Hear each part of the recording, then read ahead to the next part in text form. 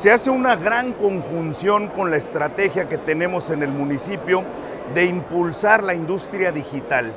Como pueden ver, ya se está desarrollando también la parte industrial del metaverso, la parte donde aplican la inteligencia artificial, pero también tecnologías o desarrollos como lo son la realidad virtual y la realidad aumentada.